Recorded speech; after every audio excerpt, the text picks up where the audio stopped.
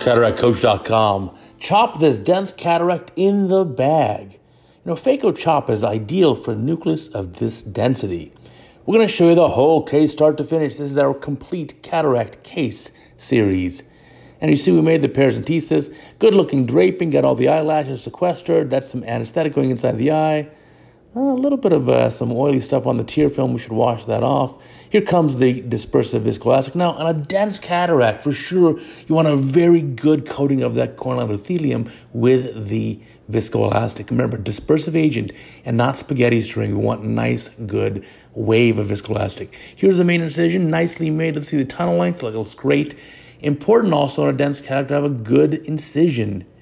You don't want to have iris prolapse or things of that nature or leaky incision, but also we want to be able to float in that incision with the phaco probe to not cause a phaco wound burn. Starting off with the rhexis. Now, what would you do differently in a case like this where the cataract is going to be denser than usual? Well, don't make a baby rhexis. Get at least a five millimeter diameter capsular rhexis. And here we're making that five, maybe even five and a half millimeters. Heck, if you're a beginning surgeon, I don't even mind if you make a 6 millimeter capsular rhexis and it doesn't 100% overlap the optic, we'll live. But don't make a baby rhexis. Now here comes a hydrodissection. Now the red reflex is good here. It may lessen obviously as we get this hydrodissection going, and we'll try to see if we can show you the nuclear density that's here. Now we get a little bit of a fluid wave, but I want to see that fluid wave go all across or behind that posterior capsule. So nice and easy. Look, plenty of hydrodissection. Trying to rotate it. Do we get a good rotation? That's pretty good. I'll take it. So a little more small aliquot there, just a little bit right in the center. That's dispersive viscoelastic just to protect that central cornea. Here comes the phaco probe, chop mode. We're looking at 40 cc's a minute to flow. We're looking at a vacuum of 400 millimeters mercury or higher. And let's see what we're going to do. Clean up some of that anterior cortical material buzzing with the phaco probe deeply. Chopper's going to go around the lens equator, and we chop. And look, we really have to put some effort in to really separate the pieces. Then we can bring up a piece, and if it doesn't come up, it's probably not fully separated. So see that? Both pieces kind of tilted up. That's because that first initial chop didn't propagate all the way through. So that's okay. We'll just take our time and we'll claw this nucleus apart. So we didn't get a good chop on the first um, go which is okay. This has still been broken up into smaller pieces, and now we can again sub chop and take out small bits or bites at a time. Again, we're trying to operate more at the iris plane and not up against the corneal endothelium. Please don't ride the endo- endothelium. You don't want to be that close. So we've got a good chunk of the nucleus out, probably about half of it. Here comes the other half going around with the chopper again around the equator of that lens material, and we can chop that off.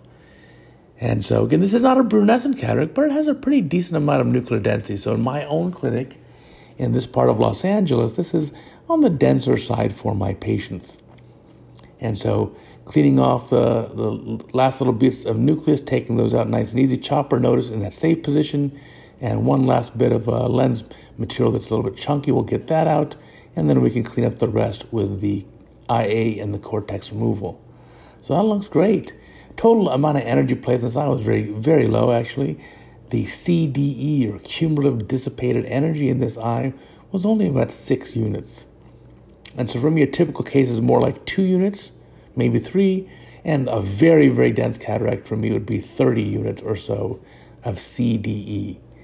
Now you got to keep an eye on that number on the top right screen if you're using the Alcon machine, because if you put in a tremendous amount of energy, you're really going to cause some endothelial damage. And if you do have a dense cataract and you're beyond 10 or 15 on the CDE, it probably behooves you to recoat that central corneal endothelium with a little more dispersive viscoelastic just to protect it.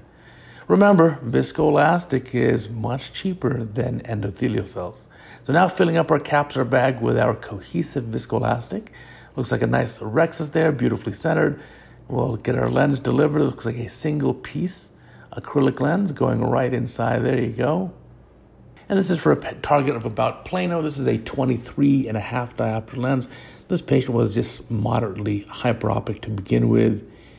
And then we'll get that lens in good position and get the haptics opened up. And now you can see what you thought was a huge Rhexis is actually just about perfect. That's about a five to five and a half millimeter Rhexis. And of course, the optic of our IOL is six millimeters in diameter. Now let's get all that viscoelastic going behind the IOL get the flow on this uh, stage of your machine very high. So I really want to wash out all that viscoelastic, so high flow rate there. And now we can polish up the undersurface, that anterior capsular rim. You didn't think I'd forget that, did you? Now we'll clean it up as best as we can.